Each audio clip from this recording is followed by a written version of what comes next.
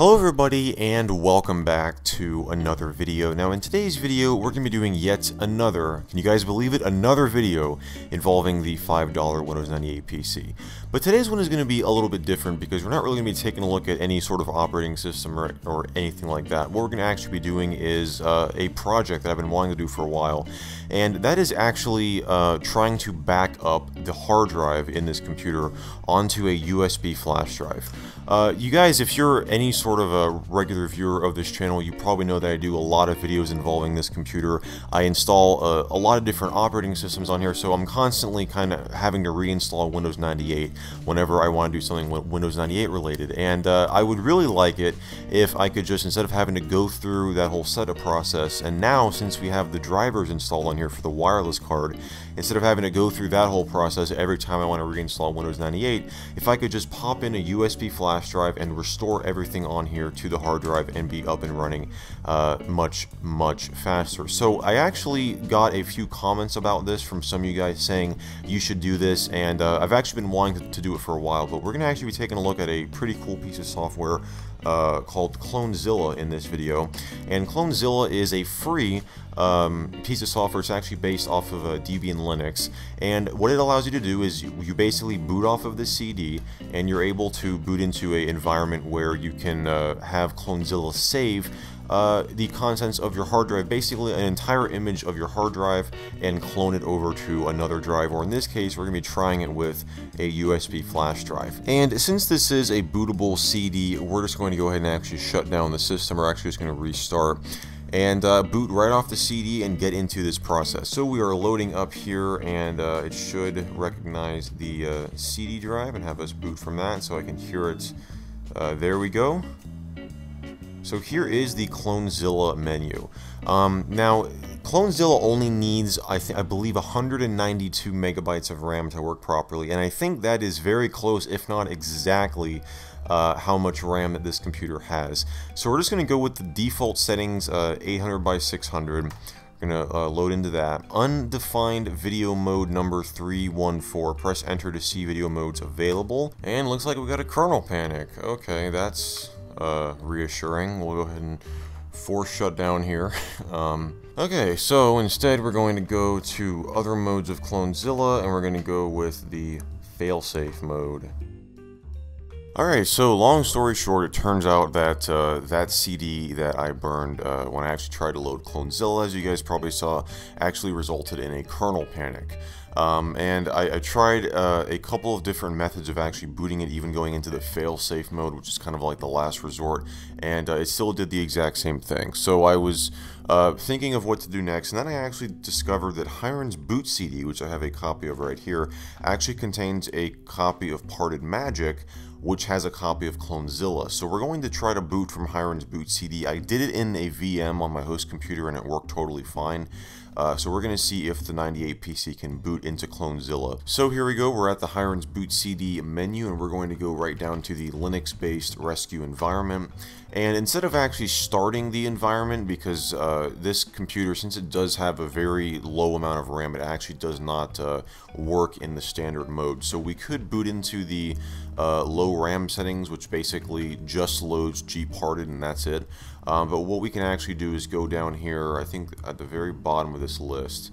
Uh, yep, there's Clonezilla right there. So we're going to press enter on Clonezilla and uh, we're going to start. And now, uh, if everything works, uh, we should be able to actually load into Clonezilla. Now, Clonezilla itself is completely text-based, so uh, the computer doesn't need to really have a lot of RAM to load like a graphical, you know, user interface or anything like that. Uh, this is definitely looking much better than uh, the previous, you know, method looked. Uh, it's actually going through the uh, boot up process right here. Alright, so it actually didn't work exactly like it did in the VM, but as you can see right here, that's just because that uh, it says to run from RAM, Parted Magic must have at least 298 megs available, but only 182 megabytes was detected. So it wants us to uh, select a live option from the menu. I do see what it's saying. It's just basically saying that it, it can't boot from you know RAM because there's not enough RAM to store everything. So it says you have to boot from the live CD option. Yeah, this right here is the one that I usually go into, but you see it says Gparted and TWM are the only programs started by default. Um, so we might have to do this and then kind of exit out to the command line and then you know run Clonezilla from there. Yeah, this is definitely one of the downsides of using Hiren's on a computer with such a low amount of memory. Um, honestly, what I could do, and this is not really what I want to do, but if I had to, and I just wasn't able to get the program to work, I could literally take the hard drive from this computer out, put it into another machine, run Clonezilla on that machine, and then clone it, and then put the hard drive back in here. But that's going to kind of um, defeat the whole purpose of why I'm doing this because then I'm going to have to take the hard drive out of this machine every single time I want to re, you know, install Windows on it, you know, to uh, restore it from this USB drive. I guess that wouldn't be the worst thing in the world, but I, I just kind of want to keep everything in, in, this computer. So we're going to try that to see if, you know, through this method here, we can actually get uh, Clonezilla to work. But if I try a bunch of things and it just doesn't work, then I guess we might have to actually literally take this drive out of here and just put it into another computer uh, that has more RAM. Um, but since this is loading off the live CD and, it, and I chose the low RAM option, I don't see why it wouldn't work. Okay, so we're actually logging into Parted Magic right now, so that is a great sign. Alright, so here's actually Gparted loading up right now, um, which is not what I want to actually start. So what we're going to do is actually uh, launch Xterm here and see if we can just launch Clonezilla from there, because I believe you can launch it from the command line. You can kill Gparted here. I mean, we can like there, now Gparted. Oh, I guess that just killed the entire thing. Backup and, okay, here we go. Backup and restore disk partitions. This should be Clonezilla. Okay, no, this is something completely different. This is partition image 0.6.8. I think I just need to get more RAM for this computer. But the thing is, I don't even know if it can, like, I don't know what the maximum this motherboard can support. I would think it would support more than 192 megs of RAM, but you know what? Maybe we should try that. I've got a ton of RAM laying around. I literally, let's just see if we can upgrade the RAM, because this is going to do the exact same thing. Only 182 megs was detected. You know what? I'm just going to look at that, because we've had so many issues with this computer, mainly just, well, not so many issues, but trying to boot off of Hiren's is, is a pain, because there's not enough memory. So let's see um, if we can actually upgrade the RAM in this thing. Alright, so good news everybody. Um, I think we can actually upgrade the RAM in this thing. So I have verified a couple of things actually that I want to briefly show you guys. Number one, I verified that the exact model number of this computer is the Gateway Essential 433C. And according to uh, this website that I pulled up here, it says that this computer can work with up to 256 megabytes of RAM. And it says that it had a fixed amount of 128 megabytes installed. Um, now, what's interesting is I guess this was either bought with an upgrade or somebody did an upgrade because, yes, it does have uh, one stick of NEC 128 megabytes of RAM. It's got one stick in there, but it also had this other stick of 64 megabytes of RAM.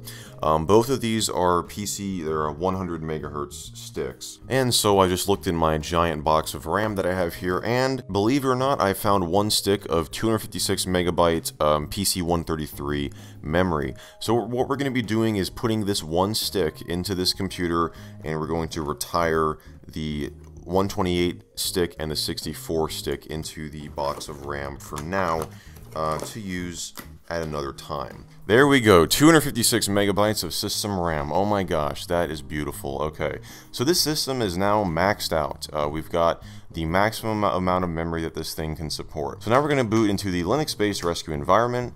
We're going to go all the way down to Clonezilla and we're going to start Clonezilla. And now, since we have enough memory, there should be no problem. We should be able to boot into it just fine.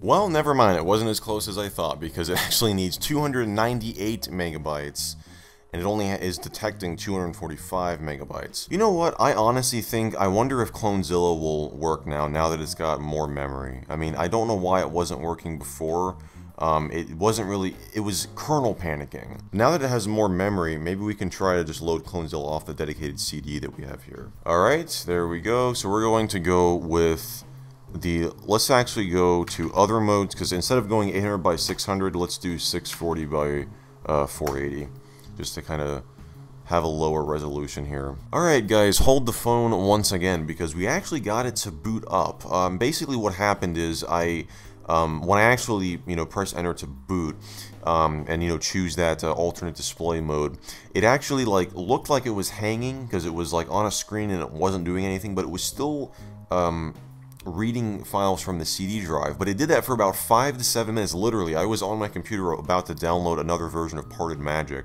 um, that should have Clonezilla on. I was just going to try to boot from that directly instead of going through Hiren's. Um, but I turned around and I saw that it actually loaded up here. So we're going to see if we can actually, um, you know, go through this process here. So we're going to keep the US keyboard layout. Okay, so we're going to start Clonezilla. So I guess this just had to do with the memory. I, I, I, guess the reason why it was kernel panicking before is because it didn't have enough memory. So on this option right here, you basically have um, the option to use images, which is number one here. You can clone or restore a disk or partition using an image. Or the option two, which is device device, is disk to disk or partition to partition clone slash restore, which is exactly what we want. So we're going to go with device device. Um, which is it says work directly from a disk or partition. Now this computer is, is I'm pretty sure only uses like USB like 1.0, um, maybe 1.1, so it's probably going to be very very slow actually you know cloning this drive. So we're going to go with beginner mode once again. We're going to do local partition to local partition. Well, see, first it says excluding busy partition or disk, which I would think means, oh, the USB drive, it's, it's, it's just not, you know, it's, it's, it's trying to read from it, but it's not successful, so it's just going to skip it and exclude it. But now it looks like it's getting dev SDA1 and SDB1. So I don't know if partition number 2 means there's two partitions or if it's reading from partition number 2. It might mean that it's two partitions, which is exactly what we want. Because there's only one partition on the hard drive, which is the 2 gig Windows 98 partition. Oh my gosh, it found it. It found it. Okay. So you see we've got the 2 gig partition. That's the gateway one right there. And then we have the 7.5 gig uh, Memorex swivel, which is the name of the USB drive. So local partition is source. So this is the one that um, you know that we're going to choose as the source. We're going to choose the 2 gig gateway partition. That's going to be the source and then the USB drive is going to be the destination. Well, at least it actually loads up, so now I know that using this version of Clonezilla directly off the CD, that it's able to find the hard drive and the USB drive. So if we're able to get this to work, then there should be no reason why doing it in the reverse and choosing the 7.5 gig as the source. So it says excluding busy partition once again. So I guess there's a partition that it's finding that is busy. I don't know. I don't know what other partition would be on this computer because there's only the one on the hard drive and the one on the USB drive drive. Maybe the CD that it's loading from? Like, I don't know. Oh, now it's only found partition number one, which I guess is since we chose uh, that as the source partition. Yep, SDB1, so that is the uh, drive, the uh, USB drive. So it's it's probably just automatically uh, excluding the SDA1 partition, which is the source again, since we chose it as the source partition, which is definitely helpful. You know, kind of a you know precaution in place so you don't accidentally choose the same drive and you just end up cloning the same thing. So this is the target. All data on the partition will be lost and replaced. Perfect.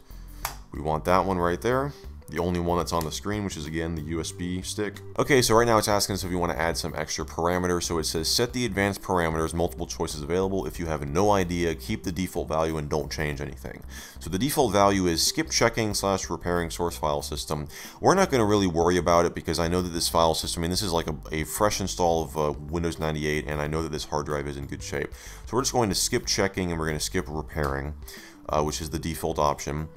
And uh, then it says the action to perform when everything is finished. We're just going to choose actually, so it'll give us an option to choose, so we'll just do that. So if you wanted like to run this and just kind of like go and do something else, you could have it say, okay, once it's done, power off, or once it's done, reboot. So what this actually does, and one of the nice things about Clonezilla is it is a command line tool. So it says next time you can just run this command directly. So you can boot into a you know command prompt or at least you know load Clonezilla and just go to the command prompt and type out this partition. What this installer does is it basically creates by all the options that you select, it just creates this command. And then you just basically run that. So it just makes it much easier if you didn't really know what all those commands did and what all these parameters were. So now uh, it should begin to clone the partition, which this is going to be so awesome. I mean, this has been something I've been wanting to do, like I said, for a while. I mean, because every time I take a look at some Linux distro on here, I always have to end up reinstalling Windows 98. Um, so it's, it's just really nice that now I don't got to go through that, and I'm basically taking a image of this hard drive that has everything on it, all the drivers installed, and now I can just have a backup of that, and whenever I install a Linux distro or do something on this computer, and I want to set it back to Windows 98, I just pop in that USB drive, load Clonezilla, and, you know, set all the options up, and we're off to the races um, you know, without any user input. It's, it's, basically what I'm trying to do is just make this automated for myself here. Um, I'm going to probably do most of this stuff off camera. I mean, I could do a video of like restoring it if you guys wanted to see that whole process, but it's basically just the same thing, but just I'm selecting the USB drive and then choosing the hard drive as the, the destination. Okay, so it says, warning, warning, warning, the existing data in this hard drive will be overwritten. So it's saying it's going to overwrite the um, Memorex, you know, swivel drive, so we're going to say yes because it's going to overwrite everything. And then it says, let me ask you again, the existing data in this hard disk slash partition will be overwritten. All existing data will be lost. SDB1, which is the USB drive. Yes, we want to continue. Okay, let's do it. So that's nice it actually asks you two times in case you say yes, but you really want to say no. So right now it's just going to start its cloning process. So I might leave this on. Um, I mean, I don't know how long this is going to take. It's probably going to take a decent amount of time since this is a USB like 1.0 drive, but I could leave the camera on and kind of have like a time lapse, you know, kind of speed this up and just show you guys everything. Before we jump into that process though, I want to briefly tell you guys about this video's sponsor, Hostinger. Hostinger is an affordable website hosting provider with features designed to make managing your website extremely easy, even if you don't know anything about web design or HTML. They also offer domain registration, and some of their hosting plans even include a free domain for the first year. Their custom hPanel lets you get quick access to your account information and provides quick links to some of the most used features. One of my favorites is the auto installer. This allows you to easily install a wide variety of software on your website. I recently used this feature to set up a new WordPress site for my YouTube channel at michaelmjd.com. Instead of dealing with manually copying files to my web server and creating MySQL databases, all I had to do was fill out a small form and press install. It's that simple. Hostinger offers multiple hosting packages to suit your budget. Their pricing starts at just 99 cents per month if you make a 4-year commitment. So if you're interested in trying out Hostinger today, click the link in this video's description and use my coupon code MichaelMJD at checkout to get 15% off a yearly web hosting plan. Alright, so let's get back to our time lapse. Here's the entire process sped up to about 4000%.